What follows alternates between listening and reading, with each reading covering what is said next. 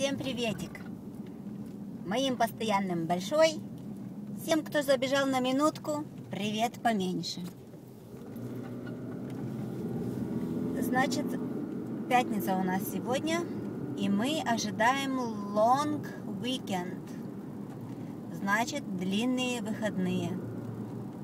Почему длинные? Понедельник здесь,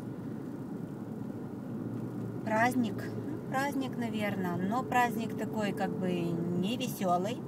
Memorial Day. Что значит Memorial Day? Это день памяти. В этот день поминают всех военнослужащих, солдат, погибших в годы Первой там какой-то мировой войны, Второй, в войнах, где воевала, где с кем воевала Америка, и они в этот день поминает своих военных. Военные люди подневольные, им сказали иди, они идут. И вот семьи, у которых члены семьи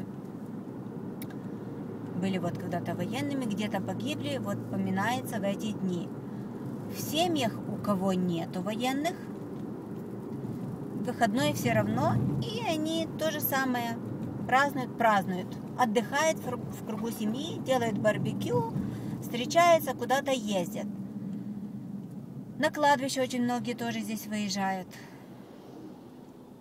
До 12 часов будет приспущенный флаг американский в этот день.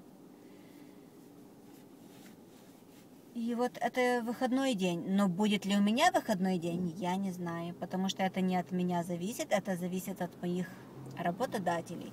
Если им нужно чем-то заняться, куда-то пойти, большая вероятность, что я выйду и буду работать. Может быть, не обязательно целый день, может быть, пару часов.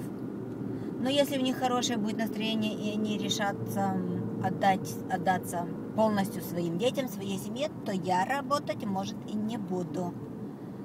Конечно, этот день мне оплачивается, работаю я или не работаю – не оплачивается в двойной, двойной ценой, как положено в праздники, потому что я не работаю на предприятии, я не работаю по контракту, и никакой контракт о ценах, о зарплате я не подписывала.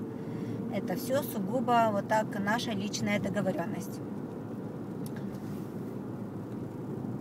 Но с другой стороны, почему не выйти поработать? А что делать дома? Здесь тоже дома не сильно. Конечно, дома всегда найдется занятие. Дома работы не переработать. Но лучше, когда за работу платят деньги. Так что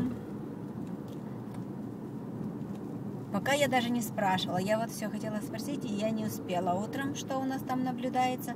Но сейчас, пока мы еще работаем в поте лица. Пятница, конечно, последний день недели – уже чувствуется вот-вот-вот-вот выходные. Погодка вроде чуть-чуть наладилась. Завтра вообще будет хорошая погода. Но, к сожалению, пойти никуда не сможем. Во-первых, папа у нас э, вылетает сегодня вечером. Мы с Машей остаемся вдвоем на хозяйстве. Ну и она взяла онлайн-класс. Это как бы summer school, летняя школа. Можно добирать дополнительные классы чтобы как бы быстрее закончить свою учебу, ты можешь набирать дополнительные классы, учиться летом.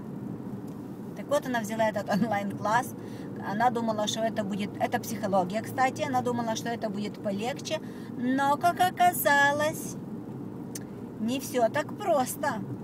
Она говорит, мама, я и тут буду сидеть, наверное, не поднимая головы. До 5 июля у нее этот класс – Онлайн-класс, мы же, это уже у нас первый онлайн-класс, мы же раньше никогда не занимались таким. Очень интересно тоже, как здесь, э, думаешь, подумаешь, онлайн-класс, кто-то тебе может прийти, помочь, написать все, а нет. Они берут с тебя какие-то биометрические данные, лицо, профиль, фас, рука должна быть твоя, там, я не помню, правая или левая, вот так, вот такая фотография, она должна всегда, когда входит как бы в этот класс, на этот урок, она должна дать свои биометрические данные. Вы представляете?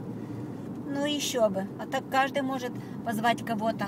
Иди, у меня сегодня тест, иди, сделай мне онлайн-класс. Все бы было намного проще. Но не тут-то было. Придется поработать еще. Ну ничего, она чуть-чуть отдохнула. У нее было сколько, недели две отдыха. Теперь опять начнет. Ну, потом опять отдохнет. Ничего не поделаешь. Такая жизнь, тут нужно учиться.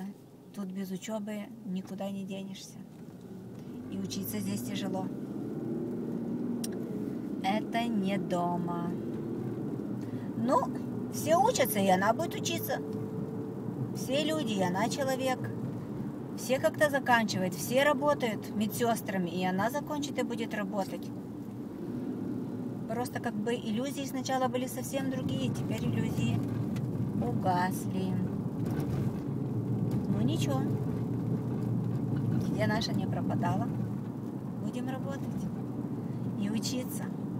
Пока. Bye-bye.